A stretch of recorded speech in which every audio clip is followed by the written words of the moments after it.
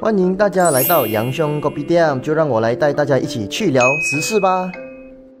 Hello，大家好，欢迎大家又回到了杨兄 c o p 店的 Podcast，耶！真的是非常高兴又能在播客上跟大家见面啦！不知道各位的周末过得好不好呢？其实，在节目开始之前呢，我有一个消息想跟大家分享，就是我最近啊，真的在想着要不要办一场分享会呢？因为如果大家都知道我是在剑桥大学读这博士课程的嘛，然后我其实是有这个意愿的，想跟大家分享如何申请剑桥啊，包括全额奖学金给马来西亚的同学，甚至来讲在剑桥的生活故事，还有就是比较特别的这个好康呢，就是究竟读与政治相关的科。系呢有没有前途？我在思考着，如果有这个需求的话呢，如果你家里有孩子啊，有孙子，还是有亲戚朋友呢，有兴趣想要呃听更多关于这方面的消息的话呢，我有在想着能不能在 PJ 啦，在我回剑桥之前办这场啊线下的活动，跟我的粉丝朋友们呢见个面啊。如果你是有兴趣这一方面的活动呢，请在我的频道下面打一个一一一哦啊一一一。其实我也是很期待啦。跟大家见个面了，所以如果你是有兴趣的，请给我一个支持，就打个一一一哦。之后我再看一下有没有这个办法去办这个线下的活动，应该是会在九月尾啊啊，所以大家请敬请期待啊更多的详情哦。当然，回到今天的 c o p y 店的菜单好不好？也就是我们 Podcast 一路来都会有的这个部分呢。嗯，当然我们谈一下这一周发生过的三个重点时事，我再来跟大家一一分析哦，究竟这些时事会不会影响到我们的证据呢？好，各位，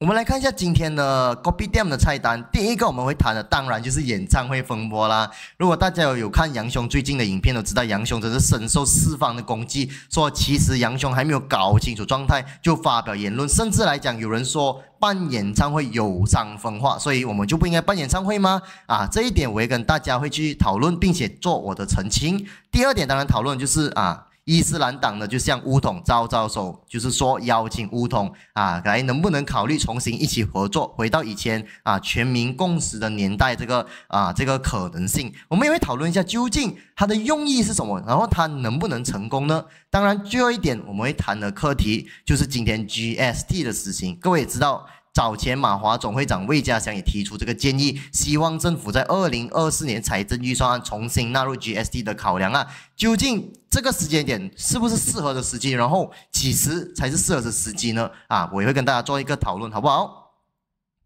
好。我们就来今天的直接第一个主题吧，各位，也就是说，今天团结政府在这一个星期闹的一个最大的事情啊，也就是大学演唱会指南风波。先跟大家讲一下这个来龙去脉哦，也就是一开始呢，其实我们的高等教育部它就有推出了一个叫做大学啊演唱会指南，这个指南呢就讲了很多。呃，管制大学演唱会事宜的，就包括说男女要分开坐啊，啊，男女女艺人啊，好像是不可以戴项链啊，还有男不能扮女装，女不能扮男装，还有包括这个演唱会的歌手不能跟观众互动啊，还有包括穿着指定啊，其实这一套指南是蛮全面的，我看了整个内容啊，而且这个指南呢，其实已经陆续的。分发到了各大抓专院校啊，才会引起这样的报道，对不对？所以这个时候呢，就引起了社会的反扑，就是说，哎，政府你是不是在向保守势力低头？哎，政府你是不是说今天啊，把把我们这些开明的选票就不当成一回事了呢？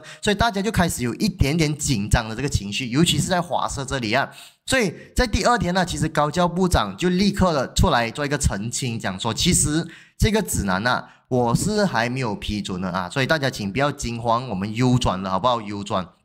这个时候啦，其实我的看法是，你能不能接受这个优转的解释呢？其实还有就是这样类似的事件哦，有些人讲这是一个单一事件，但是我讲这怎么可能是单一事件？从周选前到周选后，还有北部的 TikTok 事件呐，我已经重复强调了几次，这个事件好像有一个趋势，就是政府。都有这一方面向保守势力妥协的这一个趋势呢，已经有制定了很多限制了，想要推动这个保守议程了。所以这个时候就来到我们今天这个博客，我想跟大家讨论的就是三点关于这个演唱会指南呐，究竟我们能不能接受政府所讲的优转的这个说法呢？你又能不能去相信呢？第一点就是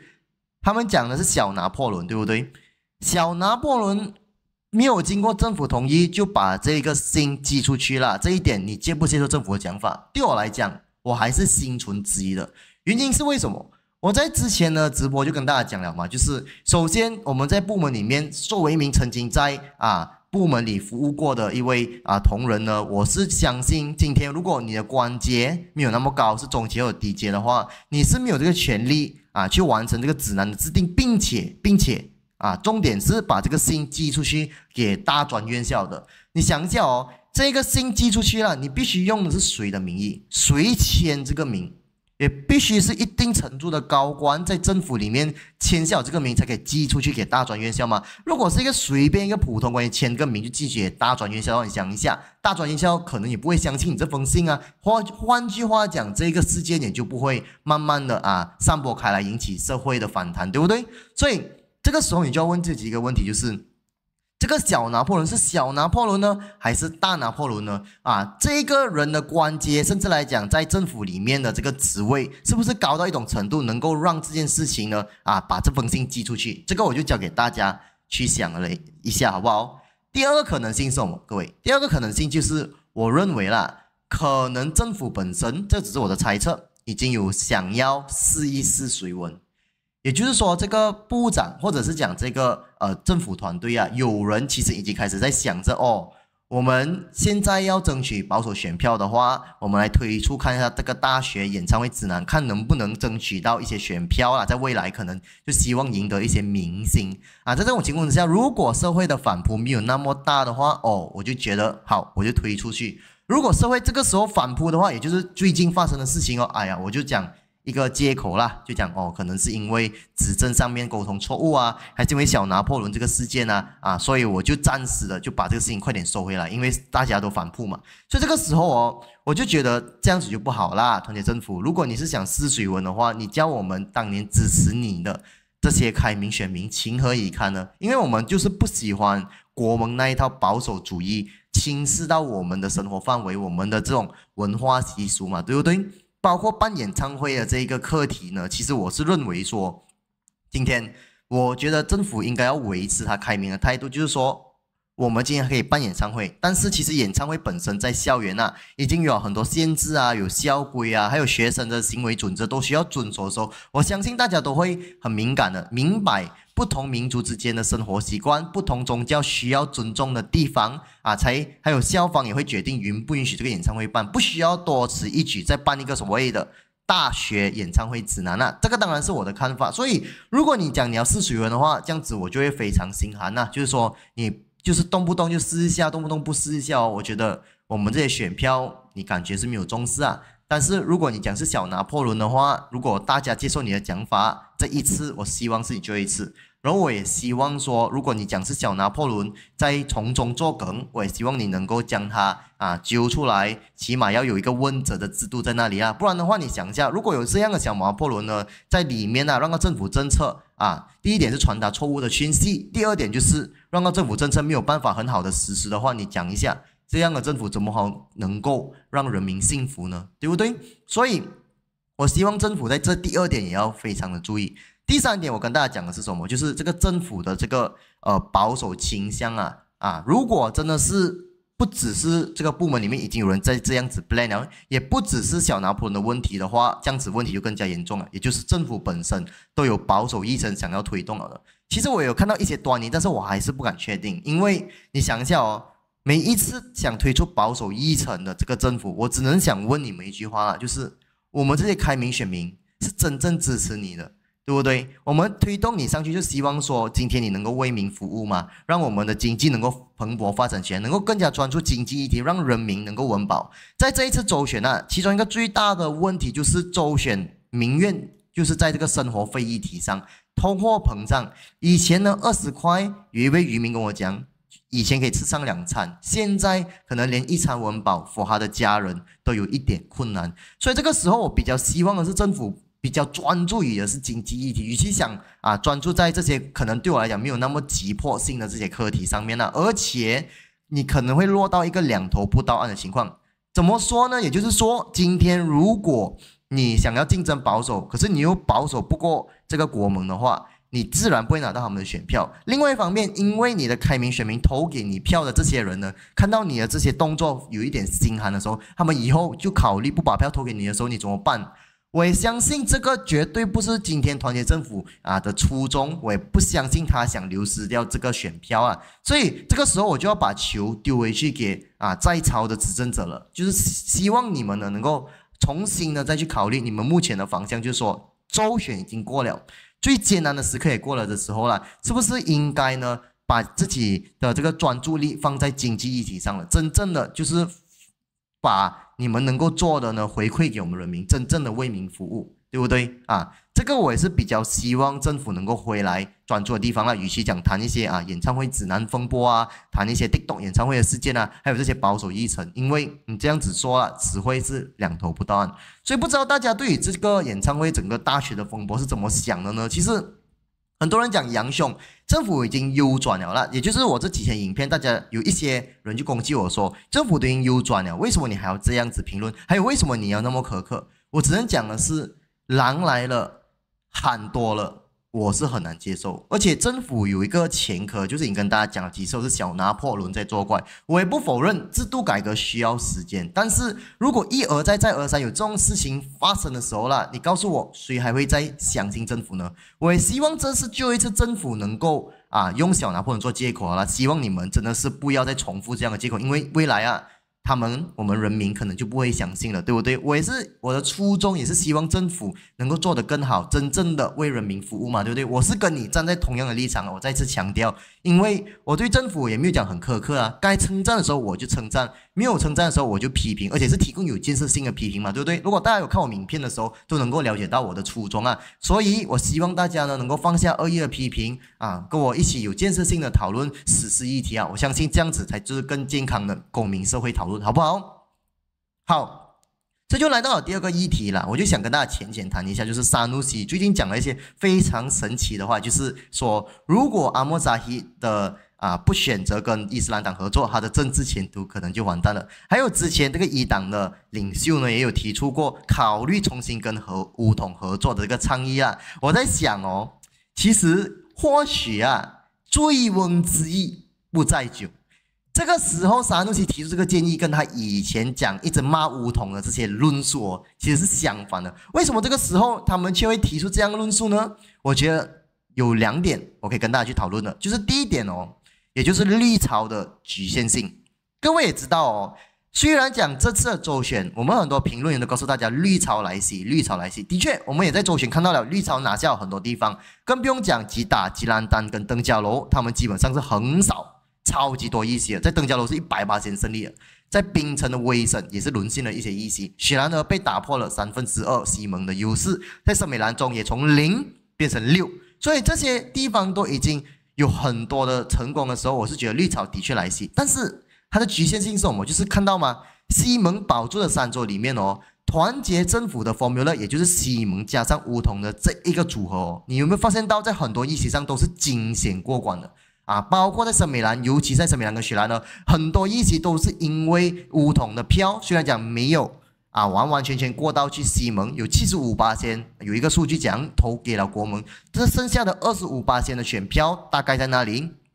加上西蒙的开明，还有非穆斯林选票，都保住了西蒙很多的州议席。所以这个时候，我感觉啦，这只是我猜测，沙努西心中就有一个痛，就是哎呀，我就差那最后一里路哦，我就可能可以横扫这几个州更多的州议席了。这个时候，我就可以把我的绿潮势力继续发展下去了。可是，就偏偏的。倒在了这个团结政府的 formula 里面，这个时候了，如果我能够啊说服梧桐的一些领袖呢，趁势跳槽过来的话，或许我可以拿到的。我猜测他的目的就是拿到南部的州属，因为在南部还包括梧桐执政的州属吗，就是这个柔佛州也好啊，还是这个彭亨州也好啊，这些我相信是他想吃掉的啦。以后呢，就是要包围，形成一个包围西蒙在中央还有在槟城的这个趋势啊，以后再来一决高下，这是我想的目的。第二点就是，我相信啊，他也看到了乌统里面有些人不满阿玛萨希的声音，怎么说呢？各位也知道，之前乌统领袖啊，包括党高支部开放竞选啊，包括阿曼沙希啊，就是开除或者冻结一些乌统所谓的开关引号开明派的党员或者领袖啊，还有就是乌统跟行动党的合作，让到很多乌统基层的人是很不满的。所以这个时候啊，其实在这个当朝的这个政府里面的这个乌统有很多领袖，其实有这种不满的这种声音，说包括达朱丁啊，如果大家还记得乌统的一个领袖，现在已经被冻结党籍，也甚至提议讲要重新跟伊斯兰党合作。所以我想啊，沙努西可能要采取的是离间计，只要今天乌统里面有人动了，甚至来讲到最后了，能够影响到乌统退出团结政府的话，这样子可能。也就是他们想要达到目的，就是促成中央变天。这是我对这个伊斯兰党抛出橄榄枝给乌统的这个想法了。他的目的是什么？但是你觉得会成功吗？我觉得不会。原因很简单，就是因为乌统现在在团结政府是老二嘞，掌握乡区及发展部啊，还有重要的部门，外交部啊。啊，当然还有包括这这几个部门，你想一下，在乌统里面是有政治资源的，这些资源哦，是帮助他们如果要重振乌统精神哦，我相信啊，尤其是保住现在乌统的影响力的话，他们是需要跟团结政府 stick 在一起的，不然的话，你想一下，如果我们换一个角度想，他跳去了国盟那里的话，他会成为老二吗？他可能就成为老三。而且伊斯兰党现在要抢的根本就是乌统的这个选票嘛，你过去那里就代表说更多人相信乌统，其实啊你就是投给国盟了，对不对？所以这个时候乌统领袖应该不会拿到那么多重要的职务，甚至来讲很多州议席或者国议席，因为他跟土团或者伊斯兰党重叠的时候了，他可以拿到政治资源就会更加少。你觉得乌统会过去吗？这样子哦，对于乌统来讲，在这生死存亡之战呢，我相信他们的领袖也明白。过去那里啊，只是加速它的沉沦而已，就是这么简单。所以可能性大不大？我觉得不大，因为这对乌统来讲啊，它比较像是会被伊斯兰党吞并啊啊！有些人讲，哎，杨兄，为什么你不可以看回去以前他们做全民共识的时候，他们不是一起合作吗？我讲情况不一样，在全民共识合作的时候，各位不要忘记哦，那时候乌统还是很强势的反对党，还有伊斯兰党那时候是弱过乌统的。现在是乌统处于弱势，伊斯兰党处于最巅峰的时候啊！你告诉我，这时候过去啊，对乌统有什么好处？所以在整个事件里面呢，我也跟大家分析了，其实这个伊斯兰党抛出橄榄枝枝的动机，还有它的可能性多大，我也讲不大了啊！不知道今天大家对于这个呃伊斯兰党抛出的橄榄枝又是怎么想的呢？你认为乌统会被过去呢？啊，如果你觉得乌统会过去跟我们合作的话，你就打一个。这个打一个二，好不好？打一个二。如果你觉得不会的话，就打一个三哦。嗯，打一个三。好，将这个话题我就聊到这里，我们就来谈一下最后一个课题吧，也就是马华总会讲魏家祥呢提出呃一个建议，就是说希望政府在来临的二零二四年财政预算案重新纳入 GST 的考量。这个时候啦，我就想分两个层面去跟大家做一个讨论。第一点就是。这个时机推出 GST 适不适合我们的国家？第二点的讨论就是，如果现在不适合，那几时才适合？我的立场很简单，理论上来说，我是赞同 GST，因为在政府能够，只要你有消费，任何消费你都会被课征 GST，这样对于我们的国家来讲啊，就会课很多税务呢，政府就可以收回来啊，进到我们的国库，我是很赞同的。但是问题是什么？问题是你讲你现在提出 GST 了，其实可能会造成的是民怨沸腾。各位不要忘记哦，以前呢，其实那即使在推出 GST 的时候，后来西蒙又在上台促成第一次改朝换代的时候呢，又推 SST 这些过程里面呢，第一次纳吉上台的时候，商家趁势起了一轮这个价格；第二次的时候，也就是改朝换代的时候，又换回 SST 的时候，商家又趁势起了一轮价格。啊，那个时候呢，这个转换哦，带来的就是两次通货膨胀，让到人民啊，到最后承受的就是那个通货膨胀之苦。这个事情啊，人们都还没有忘记。虽然讲 GST 理论上来讲应该是对国家好的，但是很多人因为这转来转去，因为政客没有真正以国家利益作为出发点，而是以政党各自的利益作为出发点的时候，玩弄这个课题，导致了大家对 GST 就很反感嘛，对不对？所以现在我们就回到了这个 SST 的时代哦，对不是？所以这样的一个印象哦，各位想一下，换到了今天呢，大家才刚刚经历过这个疫情的打击，还有就是我们也从世界这个经济打击中康慢慢康复过来的时候，在周选我们看到就是民怨沸腾嘛，吵到最凶的一个课题就是通货膨胀、生活费问题。这个时候你再重新施加 GST 的时候，我觉得你会不会在影响，让到人民更加不满，团结政府呢？你想一下。这个生活费问题没解决，政府有很多事件哦都没有办法控制好的时候，你贸然推出 GST，你是不是在想着 慢慢你的选票会不会就对你失望之后就干脆不投给你了？这个时候啦，对政府来讲根本就是弄会达到弄巧反拙之一了。最重要是什么？如果中美贸易战持续，尤其是明年美国总统大选的话，各位试想想看哦。如果经济出现小萧条，你推出 GST 对马来西亚不是双重打击吗？甚至来讲，本来我们要恢复了，可是因为你推出了这 GST，很多商家又要做出啊行政上的调整、会计系统的改变啊，人事上又要因为一些啊繁文缛节的改变呢，带来有更多成本的时候，如果它转嫁到消费者身上，又是受害的是我们人民啊，对不对？所以在我的意见看来啦，这一两三年呢，其实 GST 是不适合在我国呃实行的。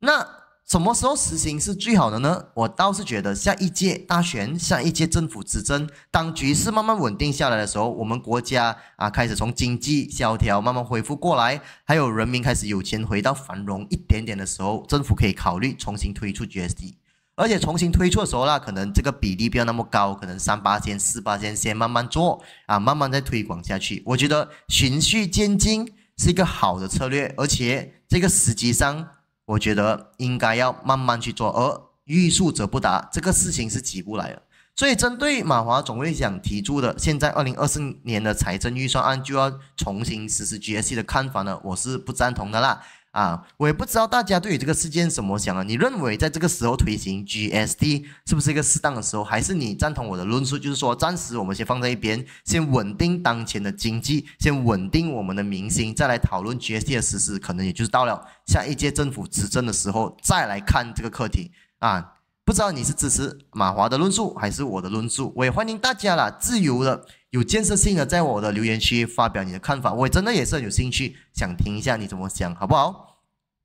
好，这期的国币店播客呢也就来到了尾声了。所以，如果你是有兴趣来参加，比如我也在 planning 这办这一个啊分享会的话呢，或者你有亲戚朋友啊想要到英国留学，也欢迎大家在下面啊。表达出你的看法，并且打一一一哦。如果你就有兴趣的，班来参加我这个线下活动啊啊！如果是呃没有兴趣也没有关系，就给我一些鼓励的话也可以啦。因为我最近遭受各方的这一个抨击呢，其实也是需要大家的支持啊！真的，如果没有大家的支持那我相信我的频道也不会做到今天呐，对不对？我也希望我的频道杨雄狗比亚能够茁壮成长。今天我来到了九千六百个粉丝，我真的是非常开心。我也希望啊，在不久的将来，我们一起破一万粉丝，好不好啊？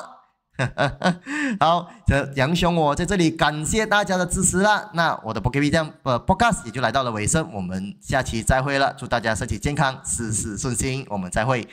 拜拜。